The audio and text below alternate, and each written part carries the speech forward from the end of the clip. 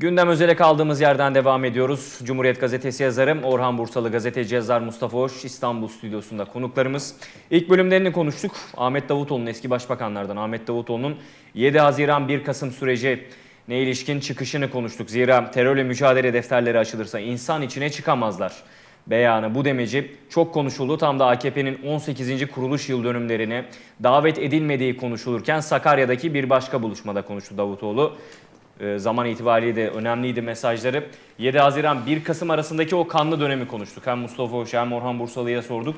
Oradan yeni partilerin çıkış sürecine geldik. Davutoğlu böyle bir manşetle e, çıkışını aslında bir anlamda duyurmuş oldu. Aylardır konuşuluyor elbette ama o çıkış ritüeli aşamasında Davutoğlu'nun son söyledikleri önemliydi. Bundan sonra bu süreçte 7 Haziran 1 Kasım arasındaki o kanlı döneme ilişkin başka kimler konuşacak? Elbette gözler çevrilecek. Bu aynı zamanda bir de araştırmacı gazetecilik konusudur dedi Orhan Bursalı ilk bölümde. Ve yeni partilerin çıkış sürecine dair eski Cumhurbaşkanlarından Abdullah Gül ve beraberindeki ekonomi kurmayı, beraber hareket etmeleri beklenen Ali Babacan'ın yeni partilerdeki çıkış süreçleri nasıl olacak? Önümüzdeki dönemde neler yaşanacak? Siyaseten kendilerini nasıl kodlayacaklar? Bunlar tartışma konusu. İlk bölümde biraz olsun konuştuk. Şimdi gelelim kayyum meselesine. Diyarbakır, Van ve Mardin Büyükşehir Belediye Başkanları görevden alındı. Yerlerine bölge valileri kayyum olarak atandılar. Kamuoyundan da büyük bir tepki yükseldi haliyle. Ee, önceki günlerde Cumhurbaşkanı Erdoğan'ın İstanbul'la alakalı terörle iltisaklı olmalarına izin vermeyeceğiz minvalinde sözleri vardı. Cumhurbaşkanı ve AKP Genel Başkanı'nın bu sözlerinin ardından İstanbul'la alakalı da acaba bir kayyum gündemini ısıtmaya mı çalışıyorlar, nabız mı ölçüyorlar, ölçüyorlar şeklinde sorular yöneltildi. Sosyal medyada çokça tartışıldı. Tam bu tartışmanın ışığında konuklarımızdan biri Mustafa Hoş, İstanbul'la alakalı Cumhurbaşkanı ve AKP Genel Başkanı Erdoğan'ın 31 Mart seçimleri öncesinde neler söylediğini hatırlattı. Bizler de izleyicilerimize onu bir hatırlatalım. Ardından Cumhurbaşkanı Erdoğan'ın İstanbul mesajlarını konuşacağız. Unutmayınız. İstanbul'da teklersek Türkiye'de tökezleriz. İstanbul'da metal yorgunluğu olursa Türkiye'de paslanırız. Buna karşılık İstanbul'da kıpırdanırsak Türkiye'de şahlanırız. Türkiye'de siyaset yapmanın, bu yolla iktidara gelmenin, başarılı olmanın ilk şartı İstanbul'da güçlü bir şekilde var olmaktır. İstanbul'da yoksanız ülkenin kalanında ne yaparsanız yapın başarıya ulaşamazsınız. İstanbul'da yoksanız ülkenin geri kalanında ne yaparsanız yapın başta kalamazsınız. Şimdi bakıyoruz listeye. İstanbul, AKP yok, Ankara yok, İzmir yok, Mersin yok, Adana yok, Antalya yok, Kırşehir bile yok. Şimdi bu listeye bakıldığı zaman Erdoğan'ın bu sözlerini nasıl yorumlamak lazım? Paylaşandan başlayalım.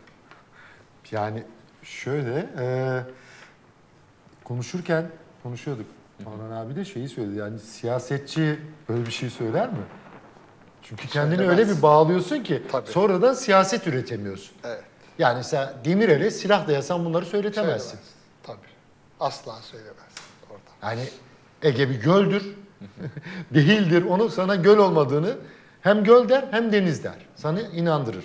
Çünkü o konuda uzmandır, üstattır. Siyasette Tabii. böyle bir şeydir. Bin ana ve Şimdi bunu söylediğin zaman bugün artık bırakırsın. Ben ayrılıyorum, yapacaklarımı yaptım, çekilirsin. Yani siyaset yapamazsın. Ama bizde e, öyle bir şey oldu ki ne söylerse tam tersi oluyor. Ne tersini söylerse de tam tersini yapıyor. Yani 180 derece dönmeler ya da 180 dereceyle farklı şeyler söylemeye alıştık. Sürekli 360 derece. Tutamıyorsun. Hani çünkü şimdi bak İstanbul'a şimdi diyor ya işte kayyum atanır mı bilmem ne yapılır mı? Ya 800 bir fark yemişsin ya. Ne, ne kayyumu? Yani sadece İstanbul değil ki. Diyarbakır'ı da, Mardin'i de, Van'ı da. Şimdi terörle irtibatlı olduklarına dair bir iddiayla görevden alındılar. Ve yerlerine valiler atandı. Şimdi bu suçlar, bu isnatlar, bu iddialar seçim öncesine mi ait? Ya da biz 31 Mart'tan bugüne e, Ağustos ayına yeni bir şey mi var? Bir bilgi, belge, bulgun var. Eğer varsa bu görevden alınanlar neden yargılanmıyor? Öyle değil mi? Yani büyük bir suçlamadan bahsediyorsun.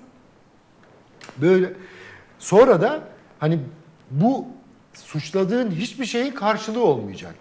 Mesela ne yapmış Diyarbakır Belediye Başkanı seçimden önce İmralı'dan alan mektubu mu okudu?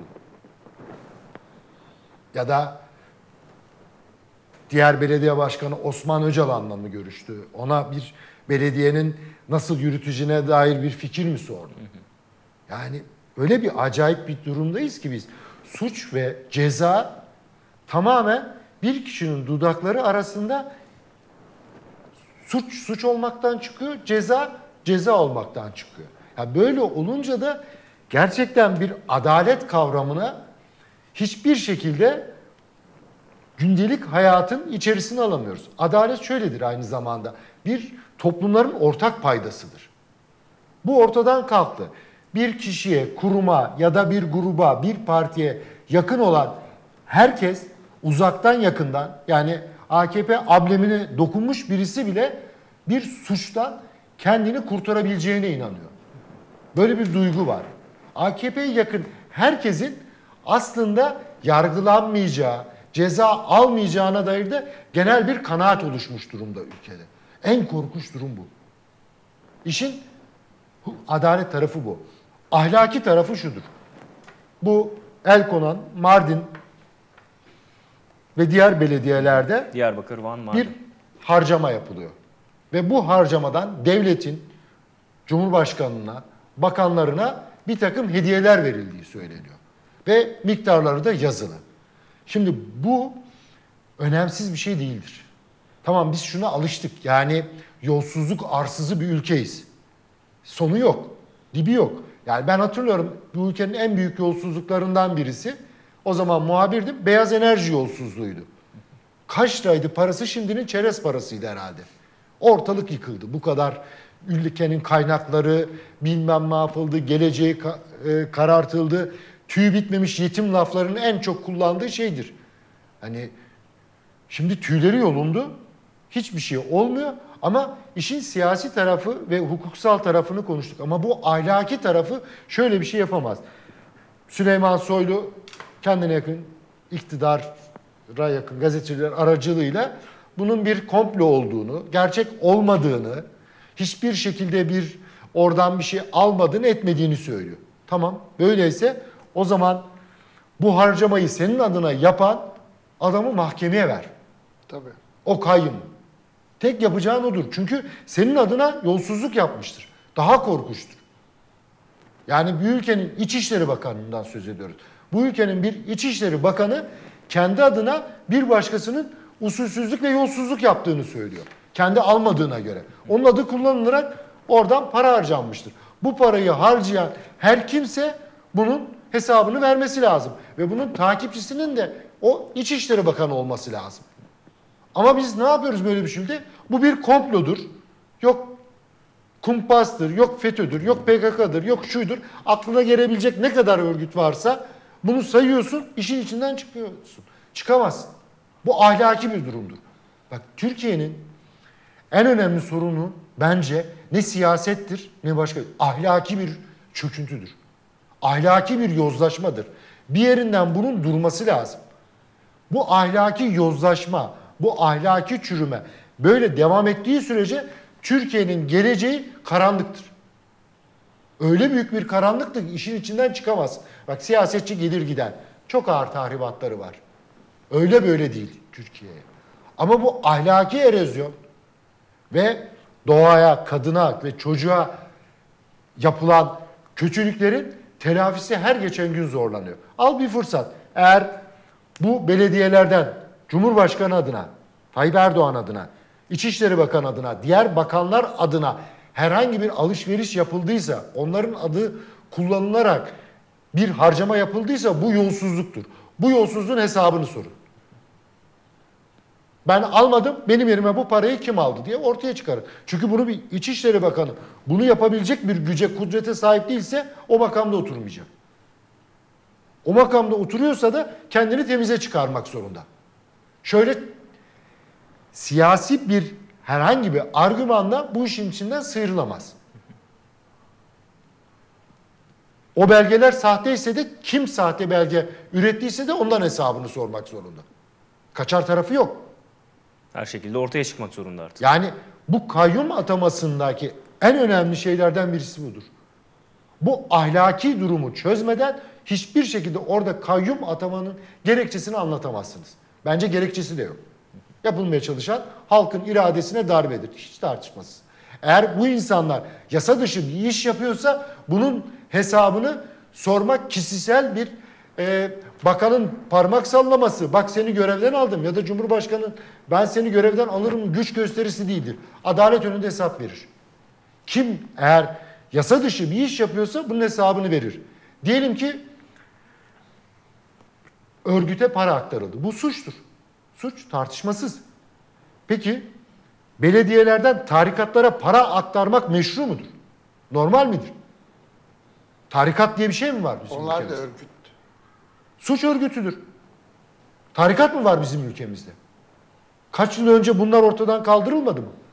Tekrar ne zaman tekke ve zaviyelerin yasallaşması sağlandı? Yani bu iktidarın gücünden faydalanarak ortaya çıkan bu devlet içerisindeki yapılanmalara aktarılan her şey yasa dışıdır. Çizgiyi nereden çektiğinize göre değişiyor. zaman. bu değişemez ki. Ben böyle istiyorum. Hayır. Sen böyle istiyorsunla ülkenin hukuksal durumu devam edemez. Sürdürülemez. Suç herkes için aynıdır.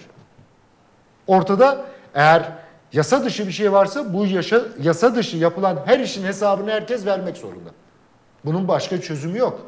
Ama bu kayyum meselesine tekrar dönersek ahlaki, siyasi tarafları vardır ve bunlar ikna edici değildir. Suç tarafında da ikna edici bir argüman yoktur. Suçsa cezalandırılır. Eğer elinizde böyle bir şey, eğer daha önceden yaptığına dair bir bilgi, belge, bulguya ulaşmışsanız o zaman nasıl aday oldu? Ve orada halkın oyuyla seçilmiş. Yani senin halkın, benim halkım ya da benim tercihim, senin tercihin diye bir şey olmaz. Yani bunu bu zeminde tartışırsak biz sürekli şöyle bir şey yapar. O zaman Ankara'ya da İzmir'e de Ankara'ya da yapar, İzmir'e de yapar, İstanbul'da da yapar. Ne durduracak? Ne olacak yani? Ne durdurabilir ki? Yapar. Onun da önünü açmış oluyorsun. Ama bu ahlaki durumu çok önemsediğimi bir kez daha söylüyorum. Yani o bakanlar, o şeyler aldılarsa hesabını verecek, almadılarsa kendi adına yolsuzluk yapan belediye başkanından, kayyumdan hesap sormak zorundadır.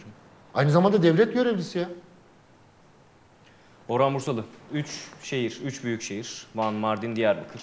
Büyükşehir Belediye Başkanları baştan alacak olursak adaylıklarına onay verildi. Propaganda yürütmelerine onay verildi. Seçildiler, mazbat almalarına onay verildi.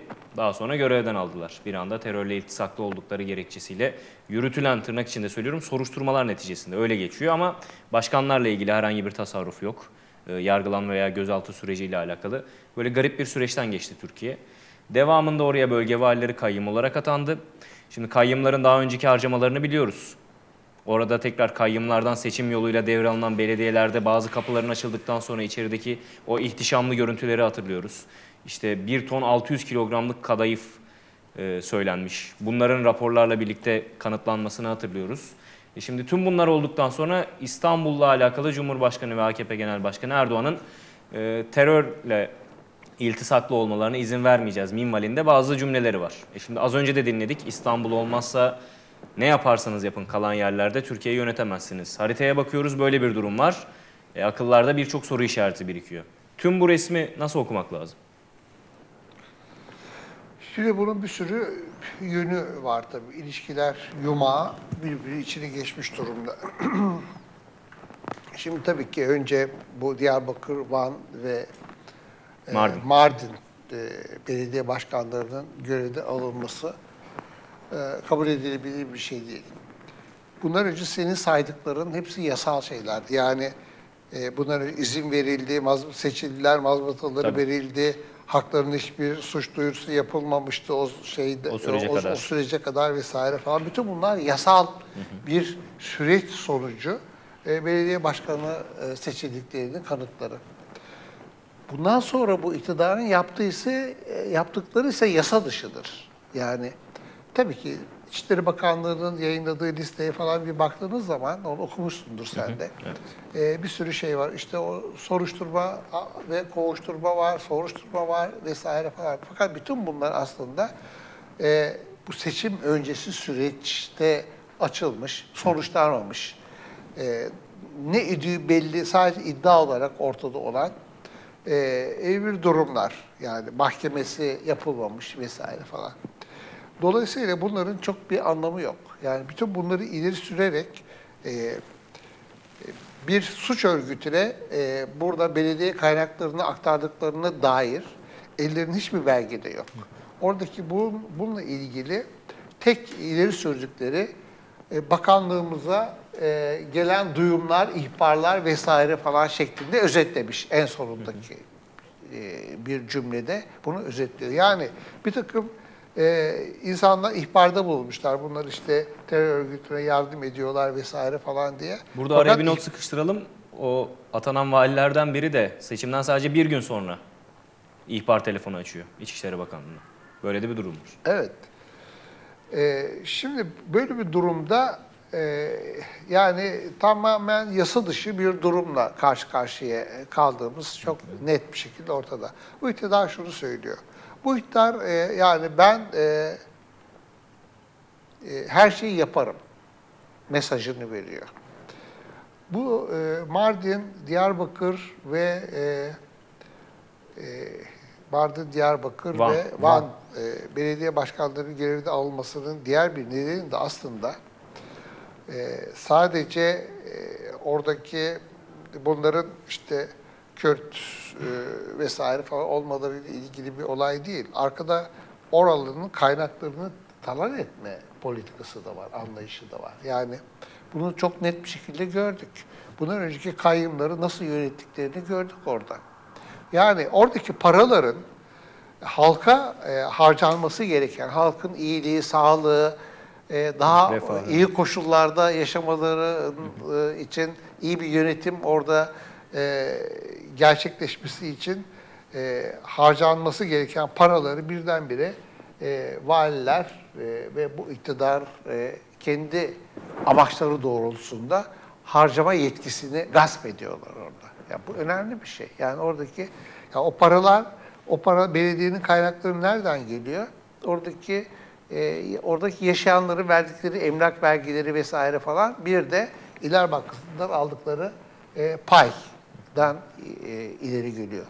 E, oradaki Diyarbakır'ın, Van'ın ve Mardin'in e, halkının hak ettiği bir paraları sen el koy, istediğin gibi harca. Bu kabul edilebilir bir şey değil. Bu hiçbir vicd- bu vicdansızlıktır ayrıca da yani onu da söylemek lazım.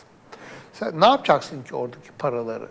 Yani bu işin bu bu tarafını e, göz önünde Ekonomisini göz önünde ekonomisini göz önünde almak lazım.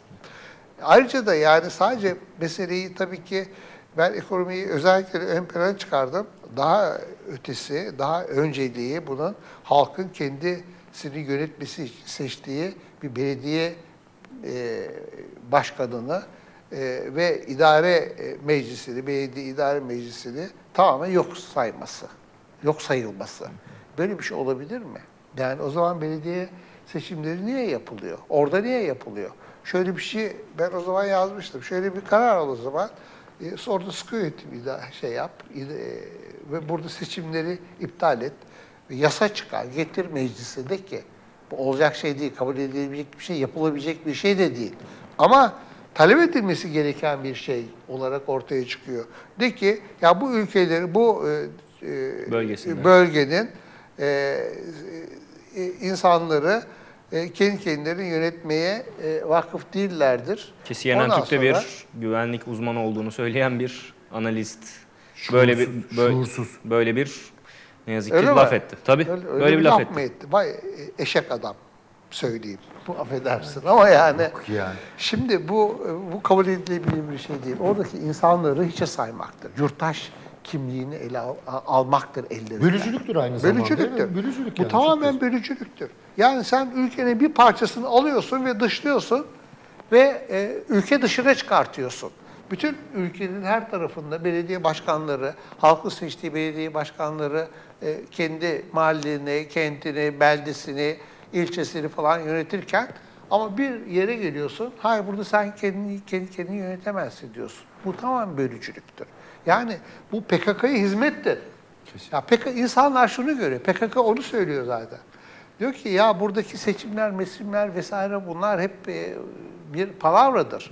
Bunlar e, size bu fırsatı vermezler, iktidar olmanızı is- istemezler vesaire falan. Bunu diyor. Bu programda ile gençleri kazanıyor vesaire falan. Sen ise fiiliyatta PKK e, çok haklıdır diyorsun bu eyleminde. Retoriklerine destek. Retoriklerinde böyle oradaki insanlar da şunu söylüyor. Gerçekten de yani PKK'dan PKK'dan başka da bir e, seçenek e, bize e, bırakmayan bir iktidar var diye düşünmeye başlıyor. Şimdi halkı e, aslında PKK'nın e, iyi yönetim ve Türkiye'nin bütünüyle e, birleştirecek politikalar e, uygulaması ve ülkenin genel politikasının bir parçası haline e, yasal zeminde yapması gerekirken ha onları alıyor, koparıyor ve tam tersine bir terör örgütünün Kucağına. e, kucağına atıyor. Anlayış olarak. Şimdi bu, bu Türkiye'den kopuştur aslında yani. Ya İstanbul seçiyor ama ben seçemiyorum. Böyle bir şey olabilir mi? Tamamen dışlanmış ve ötekileştirilmiş bir e, bölgeden bahsediyoruz. Bu kabul edilecek bir tarafı yok. Gelelim İstanbul'a. Acaba tabii ki e, Cumhurbaşkanı'nın e, son demeci açıklaması biz İstanbul'un İstanbul Büyükşehir'inde terör örgütüne e, işte yardım ilişki izin vermeyiz falan lafının O acaba açılımı ne olabilir diye. Şimdi İstanbul'da e, biraz zor. Yani iki yol var önünde. Eğer İstanbul e, ve İstanbul olursa yarın da başka bir e, kent gelir. Yani Ankara gelir. İzmir. İzmir gelebilir. Antalya gelebilir. Antalya gelebilir. Gelebilir. Çünkü bunlar Türkiye ekonomisini canla bağlıdır aynı zamanda. Cumhurbaşkanı ne demişti İstanbul seçimleri önce? İstanbul'u verdin orada, konuştu, hepimiz duyduk yeniden. İstanbul'u da tökezlersek Türkiye'de tökezleriz ve Türkiye'yi yönetemez hale geliriz. Onun için bizim bu İstanbul'u mutlaka kazanmamız lazım. Bunu bilen bir insan. Yani bir politikacı bunu demeli mi? Yani Mustafa ile demin konuşuyorduk onu. Bir politikacı böyle bir şey dile getirmez. Ama bunu kendi taraftarına söylüyor. Yani İstanbul'u mutlaka almamız lazım. Bunu söylerken de alacağına inanıyor aslında. Öyle bir e, şeyle, İnançla inançla söylüyor. bunu. Yani ben bunu söyleyeceğim ve ondan sonra oradaki millet de bunu görecek. Benim iktidarım da tehlikeye girdiğini fark edecek ve İstanbul'da beni destekleyecek. Yani bu inançla bunu söylüyor. Ama bu politik tamamen yanlış bir şey. Yani e, Cumhurbaşkanı'nın politik kariyeri büyük yanlışlarla dolu. Ve bunların hepsi hem kendi partisine hem kendisine yönelik e, olumsuzluklar yarattığı gibi hem de Türkiye'ye e, yönelik büyük olumsuzluklar yarattı. Şimdi e, onlara e, fazla girmeden İstanbul'da acaba böyle bir şey yapar mı? Ve diğer e, Cumhuriyet Halk Partisi'nin elindeki diğer e, büyük kentlere. Burada ben duruyorum. Şimdi kafamda iki yol var orada. Bir tanesi eğer bunu yaparsa Türkiye bambaşka bir yola girer.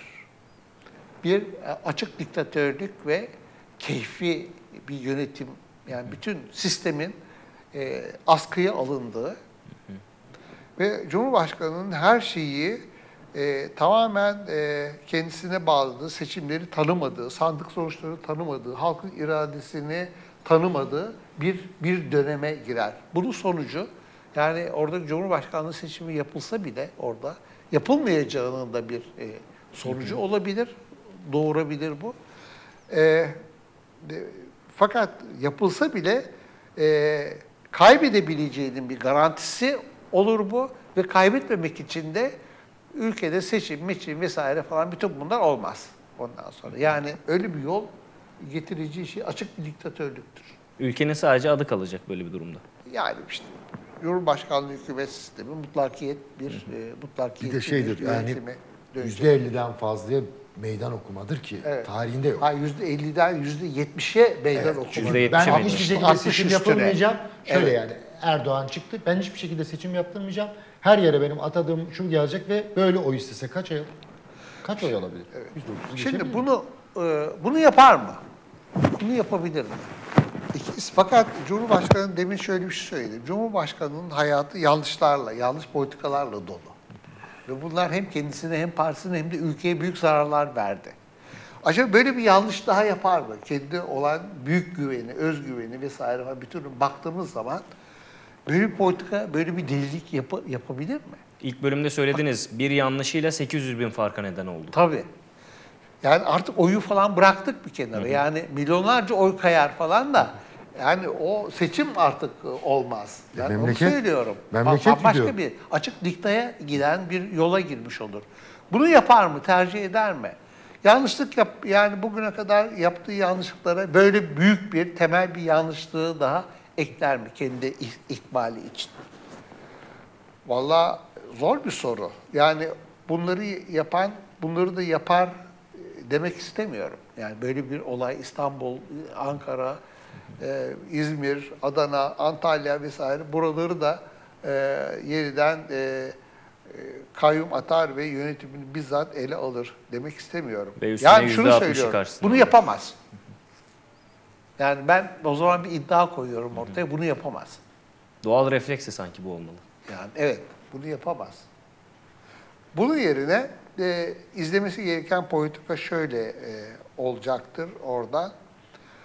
E, bunu yapamaz derken bu deliliktir anlamında söylüyorum bunu. Yani böyle bir deliliği e, Türkiye'de uygulamaya koyamaz.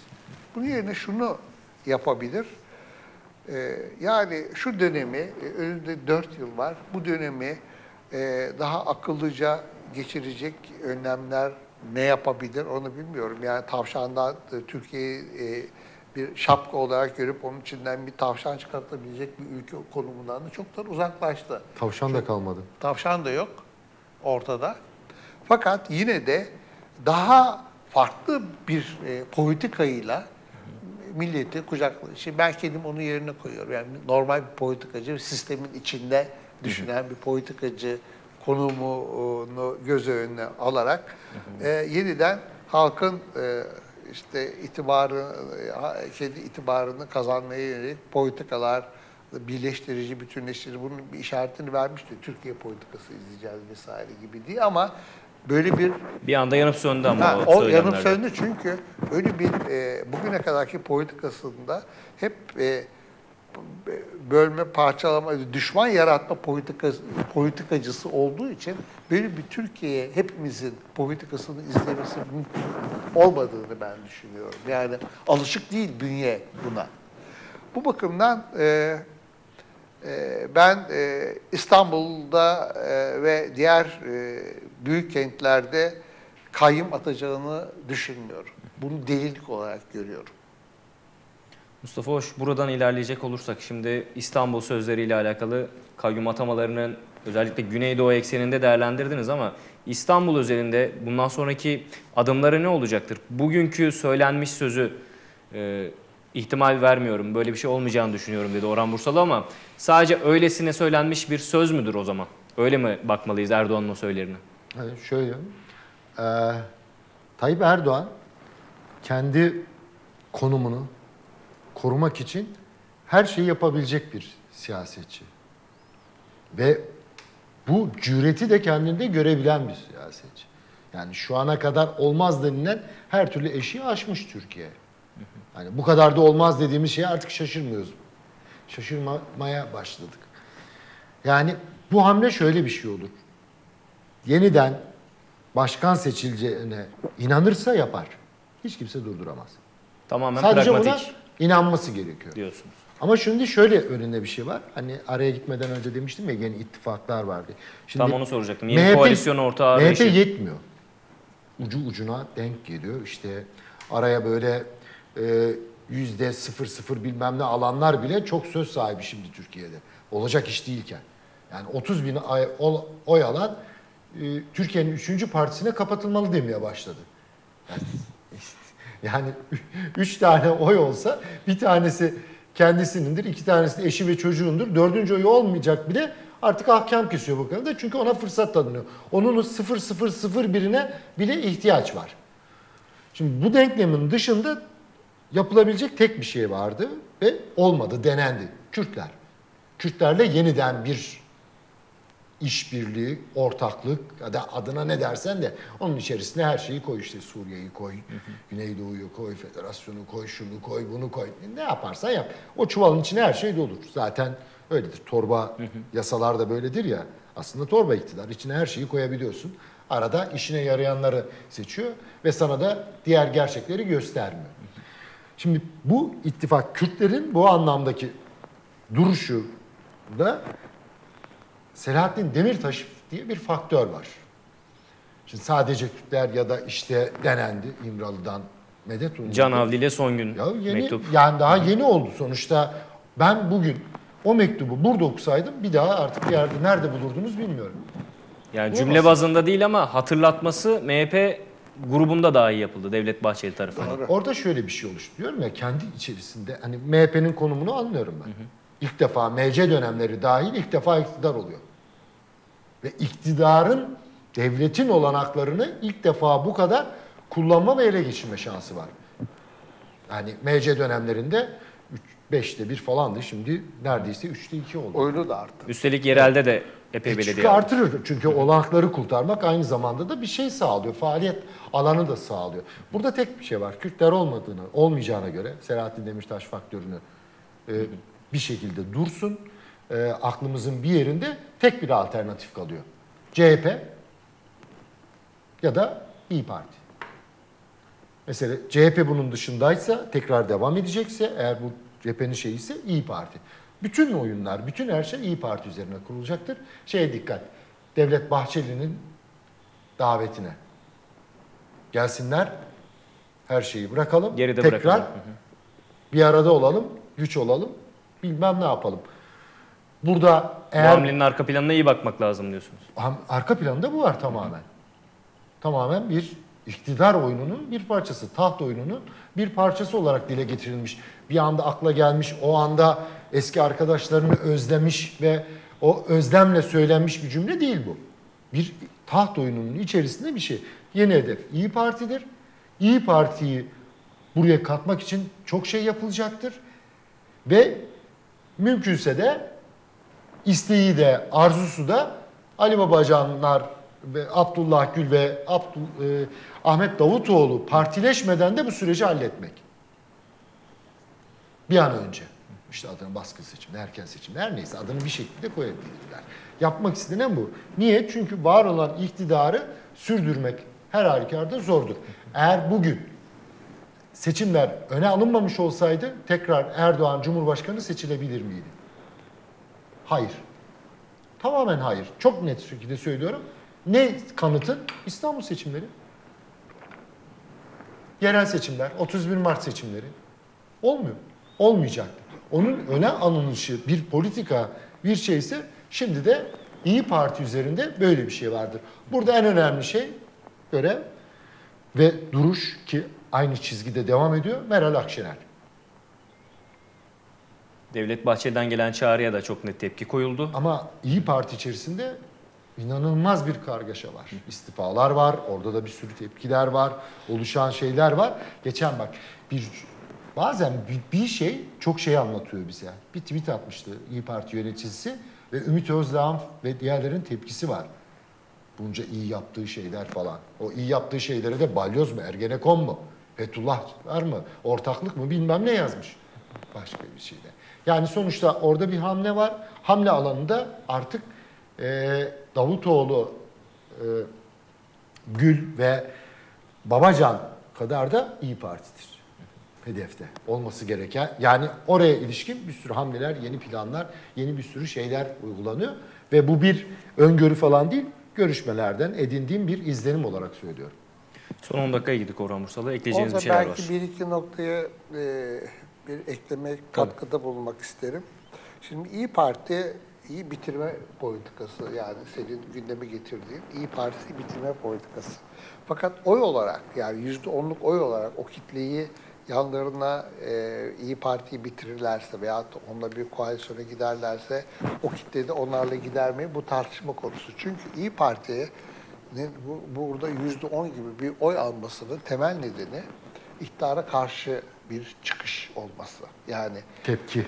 bir tepki bir partisidir, partidir. Hem MHP'ye tepki hem de e, iktidara tepki e, e, politikası olarak ortaya çıkmıştır ve kurulmuştur.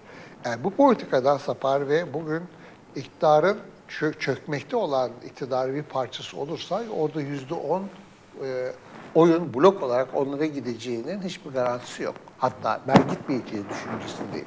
Çünkü İyi Parti'nin yüzde onlar onda e, önemli ölçüde CHP'den kopmuş yüzde iki üçlük bir şey de var. var. Seküler milliyetçiler de var içerisinde. Muhafazakar Evet, milliyetçiler var, var. ve kaymış. Daha önce yani belki sağın, belki sağ partilerin e, iktidara yamanmamış seçmenin bir kısmı CHP'de toplandı. Bunu biliyoruz orada. Onların bir kısmı ayrıldı İyi Parti'ye gitti. Seçmen olarak gittiler oradan. Yani e, Aytun Çı- Çıray da gitti mesela o, oraya, o partiye. Ve önemli lokomotiflerinden birisidir o. Bu bakımdan yani böyle bir İyi Parti'yi bitirme politikasının kendilerine ben çökmekte olan bir sisteme payanda yaratacak bir oy e, potansiyeli taşıdığını düş- düşünmüyor, düşünmek istemiyorum. Yani olayın şeyine aykırı. İyi Parti'nin kuruluş e, kuruluş mantığına da aykırı olduğunu Hala hazırda devam ettiği ittifak sürecine Evet, de Onu aykırı. bitirebilirler ama o başka. Yani tabii ki Mustafa'nın şu e, saptamasına katılıyorum. Yani ortada bir şey var, marifet buluğu var. Bunu parçalamak isteyecek, istiyorlar zaten. Bunun parçalanacak önemli şeylerden bir tanesi de yani bu yerel seçimlerde e, HDP'li seçmenler oldu. Özalan aracılığıyla onu gündeme e, t- getirdiler. E, fakat e, HDP'li seçmen taş gibi ortada kaldı. Yani böyle bir oyuna, böyle bir e, oyu, gerçekten tiyatro oyununa katılmadı. Çok sağlam bir şey. Zaten ben HDP'li seçmenin e, bilincinin, e, siyasal bilincinin en yüksek seçmen grubu olduğunu düşünüyorum orada.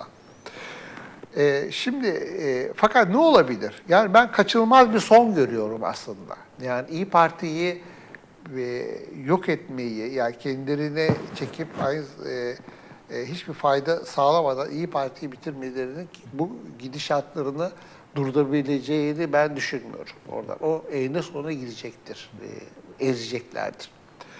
Bir e, şöyle bir şey olabilir o zaman. Acaba e, bu yeni kurulacak parti e, diyelim ki e, bir potansiyel oy aldı vesaire falan yani onun e, nasıl bir e, çevre yaratacağını e, tam bilmiyoruz. Nerelerden oy alacağı. İyi Parti'den de alabilir, başka yerlerde AKP'den de alabilir, bir, bir kısmı MHP'den alabilir. Aynı zamanda sosyal e, demokratlara falan da el attıklarını vesaire falan biliyoruz. Yeniden AKP'nin kuruluş dönemine e, yönelik bir politika izliyorlar. Böyle geniş cephe politikası izliyorlar Ya da oradan. dört eğilimde ANAP. ANAP gibi ya da dört eğilimli ANAP. Aslında AKP ANAP'ın bir taklidi olarak kuruldu. O politik o politik zemin üzerinde yükseldi. Şimdi e, onlarla birlikte bunlar gerçekten bir kuru, kuruluş e, aşamasını bitirdikten sonra iki yıl sonra bir e, iktidarın bir parçası ve ortağı olarak ortaya çıkarlar mı onu da bilmiyoruz. Fakat onlar da zaten AKP karşıtlığı üzerinden, AKP'nin bugüne kadar izlediği e, ekonomi, politika, e, ekonomi politikalarına karşı e, bir söylem olarak ortaya çıktıkları için iktidarın bir parçası olmaları kuruluşundan sonra e, bence kendi varlıklarında yine tıpkı İyi Parti için söylediğimi onlar için de söylemek istiyorum. E, bir e, kendi kendilerini e, dinamitleri anlamına gelir. Yani şöyle diyorum ben, e, ne yaparsa yapsınlar e, bu e, süreci yani kendileri iktidarı kaybetme sürecini Durdurmak durduramayacaklar. mümkün gö- göremiyoruz. Geciktirmek mümkün mü Mustafa Hoş? Ya geciktirmek için her türlü yollar deneyecek. Hani bu söylediğimiz şeyler normalinde 6 ay önce baktığında akıl işi değillerinden her şey oluyor. Yapıyor ya da yapılmaya çalışıyor. Deneyecektir, yapmaya çalışacaktır. Hani e, Evet. bu şöyle kardeşim Esad'da katil Esed'e dönmek gibi. Yani olabiliyor aynı şekilde. E, Rusya ile olan ilişkilere bak. ilk söylenenlere bak. Uçak krizinde olanlara bak. Yani normalde kahvede söylesen dışarı çıkıp birbirini öldürürsün. Söyleyemezsin yani kimsenin yüzüne.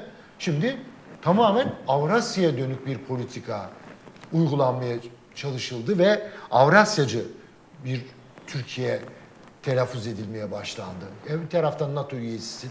Yani her şey çok karma karışık ve bütün bu karma karışıklarda tek bir şey var. Bütün tırnağıyla dişiyle iktidara yap, tutunmaya çalışan birisi var. Ama o da tutunmak mümkün olmuyor. Kaymaya başladı Yani dış, en büyük kara delik dış politikada özellikle Suriye üzerinde onu görmek lazım. Bugün hem e, Rusya'yla yani Suriye'nin lafta e, toprak bütünlüğü, Birleşmiş Suriye vesaire falan gibi söylemler iktidarın ağzından e, eksik olmuyor. Fakat öbür tarafta da Amerika ile birleşerek Fırat'ın doğusunu Amerika ile bölüşme politikaları gündeme konuyor. Şimdi buradaki önemli bir şey. Bu, bu Suriye politikası bu iktidarı belki de erken bitirebilecek sonuçlar doğurabilir diye ben İzleyicilerimizden de düşünüyorum. program duyurusunda duyurduk ama konuşmaya pek vakit kalmadı. Sorular geldi. Birkaçını not aldım. İdlib'de bir yandan Rusya ile konuşmalar devam ederken bir yanda güvenli bölge için ABD ile ortak devreye atılıyor. Bu resim bize neyi anlatır? Bu resmi bize işte demin e, biraz e, vurguladığım e, bir sonuç vermeyecek bir politika, kara deliği anlatır. Yani bu politika e, Türkiye'ye e, hiçbir faydası olmayacak. Bu iktidarın daha hızlı bir şekilde çöküşünü yol açacak bir yol olduğunu gösteriyor. Ki bunları Bunu çeşitlendirmek de mümkün. Bir yandan Tabii. S-400 bataryaları gelirken güvenli bölgede Evet. ortak devreye ABD ile. Evet. Buradaki yani Türkiye geldi geldi ABD ile e, daha küçük bir e, ABD'nin kontrolü altındaki bir Suriye toprağını aynı zamanda bu e, Kürtlerin yani PKK'nın e, ve oradaki Suriye. PKK'sının YPG'nin e, kontrolü altındaki bir bölgeyi ortaklığa vardı. Yani e, şu açıdan düşünebilirsiniz belki. Yani oradaki Türkiye'nin gerçekten bir sınır güvenliği sorunu var orada. Yani orada PKK saldırıyor bilmem ne vesaire falan. Türkiye oradaki meseleyi biraz ötelemek istiyor. Kendi sınırların ötesine. Bakın orayı kim kontrol edecek? Amerika mı kontrol? Amerika ile karşılıklı PKK'nın kontrolünü bıraktığım bir bölüm aslında orada. Zaten PKK orada ona razı bir razıdır. Onun Amerikalılarla onayıyla birlikte bu gidiyor. Onu görmek lazım. Yani Beraber hendek PKK'da kapatıyorlar. ABD'li e, kurmayları görüyoruz başında hendeğin. Tam Yanında. YPG'lileri e, görüyoruz. Daha ne istiyorsun? Türkiye şu görüntüyü verdi iktidar. Tamam ben şuraya güvenlik bölgesi olarak işte 10 kilometre, 5 kilometreden başladı. Ne konuda anlaştıklarını bilmiyorsunuz. 5 kilometre mi? 30 30 kilometre mi? Bunu 10 savuşturmak için de mi? araya giriyorum yine ama müşterek harekat merkezi kuruldu. Evet. Bu harekat merkezinde bir ABD'li general, bir Türk general var. Burada alınacak adım adım kararlarla oluşturulacak. Yani, böyle, bir takla şey- attırılıyor. Evet, böyle bir şey olabilir mi? Yani bunun sonuç vermeyecek bir şey. Veyahut da siz orada ABD'nin kurmakta olduğu İsrail güven esas olarak İsrail'in güvenliği amacıyla kurmakta olduğu bir YPG e, de- devletini siz baştan şey yapıyorsunuz, kabul ediyorsunuz orada. Bu o anlama gelir. Başka hiçbir anlamı yoktur. Ayrıca da bu Suriye'nin parçalanmışlığının bir şey, bir, bir e, kanıtı olur izlediğiniz politika açısından. E, gelelim e, öbür taraftan e, Fırat'ın batısı. Fırat'ın batısı ise Suriye bir bir Kurtuluş Savaşı veriyor Suriye orada. Topraklarını kurtarmak için. Çok açıkça onu görmek lazım. Yani oradaki bir e, rejim e, karşı kökten dinci, cihatçı e, örgütler, bir sürü örgüt orada. En Şimdi bilinen az çok- paravanı IŞİD'ti. Evet. IŞİD'i oradaki hala Amerikalılar IŞİD'i vani olarak orada koyuyor. Küçük bir O yüzden en bilinen paravanı duruyorlar. demek istiyorum. Ve oradaki IŞİD e, hikayesi bu. Oradaki YPG devletçiliğine meşruluk kazandırmak için, o politikalarını Amerika'nın sürdürülmesi için oradaki bir küçük IŞİD grubu tutuluyor, yok edilmiyor onlar. Bir türlü bitmiyor o yüzden. Evet, onu bitir, bitirmiyorlar onu. Yani Türkiye de onu fazla da bitirmiyor. Orada duruyor onlar orada. Fakat öbür taraftan yani siz e, e, Cumhurbaşkanı üç şey söyledi. O milli tehlike bizim için dedi. Yani Suriye'nin ilerlemesi oradan. İki, birincisi göç var. Nedir milli tehlike diye ben sordum. Yani neyi kastediyor milli tehlikeyle? Aklıma üç şey geldi. Birincisi büyük bir göçün olması. Yani Suriye ordusu kendi topraklarını kurtararak yukarı doğru e, Türkiye sınırına doğru geldikçe oradaki yani e, bu kökten deyince cihatçı örgütlerde direnecek. Arada kal- e, halk arada kalıp ölmemek için de Türkiye'ye Yeni bir göç dalgası olacak. göç dalgası olacak. Bu kabul edilebilir bir şeydir gerçekten de. Ee, bir milli tehlike, yani Türkiye'yi bitirecek bir milli tehlike olduğunu ben falan düşünmüyorum. Çünkü sen zaten 5 milyon Suriyeli almışsın Güvenlik koridoruyla da gidişini de engellemiş oluyorsun. ve engellemiş oluyorsun ayrıca da. Çünkü Şam'la yani Esad'la anlaşmadığın her Evet. şey bunların Türkiye'de kalması demek. Kesinlikle. Hep bunu yapıyorsun orada. E, birincisi göç. İkincisi oradaki 10-15 bin mi nedir sayıları? Bu, bu konuda da kesin bilgiye sahip olmadığımız, çeşitli rivayetlerin dolaştığı bu cihatçı örgütler Suriye rejimine karşı, Şam'a karşı orada devletçi kurmak isteyen ve hatta Şam'ı, Esad'ı yıkmak isteyen cihatçı örgütler. Onların militanları ne olacak? Yani e, işte, orada herkes var. Doğu Türkistanlar, şey Türkistanlılar e, var, bilmem Çeçenler var, şunlar bunlar vesaire bütün bütün bunlar da var ayrıca ayrıca. Şimdi onları onları mı ulusal tehlike olarak görüyor diye düşünüyorum. Ya da Çünkü üç- onlara yapılan bir şey mi ulusal tehlike? evet. Fakat üçüncü bir olay var. Üçüncü bir olay var. Onu da alalım son iki dakikaya geldik. Evet. Üçüncü bir olay var. Suriye gelip bütün topraklarını kurtardıktan sonra kurtarıp bizim sınıra bizle birlikte yeniden komşu olması mı acaba ulusal tehlike? Ciddi Bu mu tehlike olarak görünüyor Evet. iktidar açısından? Onun yerine Benim- Amerika'nın PKK'nın komşu olması, Y mi görülüyor? E, hayır, tabii. komşu olması ulusal bir tehlike olmuyor o oluyor. Hayır değil. Ve ayrıca da sen orada Amerika ile PG ile bir şey yapacaksın ve birlikte politika ürettiğin, Avrasya politikası ürettiğin Rusya'da buna seyirci kalacak. Bence ulusal tehlike olarak benim fikrimi e, de söyleyebilir miyim? Tabii. Ben ulusal tehlike olarak Suriye ile Esad'la yeniden sınır komşusu olmayı görüyorum diye düşünüyorum. Düşünmek istemiyorum böyle bir şey ama Ama öyle görüldüğünü Bugüne söylüyor. kadarki politika Esad'ı tamamen hala düşman olarak, ana düşman olarak gören bir e, ve onunla birlikte bu sorunların rahat bir şekilde çözümüne e, yanaşmayan, konuşmayan bir e, politikanın ancak onu e, en büyük milli tehlike olarak e, görmesi sonucuna varır diye İşte de düşünüyorum. kişisel tehlikeyi milli tehlike yapmak.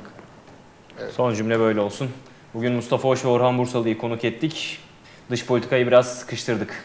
Ee, özellikle son 10-15 dakika içerisinde konuşmaya başladık. Çok teşekkürler. Ağzınıza sağlık. Ee, Davutoğlu ile açtık. Davutoğlu'nun terörle mücadele defterleri açılırsa insan içine çıkamazlar söylemiyle başladık. İlk bölümü. Onunla konuştuk. Yeni partilerin çıkış sürecine geldik. Devamında Erdoğan'ın İstanbul sözleri bir arşiv hatırlatmasıyla tartıştık ve son bölümde de zaman el verdiğince dış politikayı konuştuk efendim. Yeniden karşınızda olacağız. Bizim hemen arkamızdan bir başka meslek büyüğümüz Enver Aysever ekranlarınızda olacak. Bizden ayrılmayın.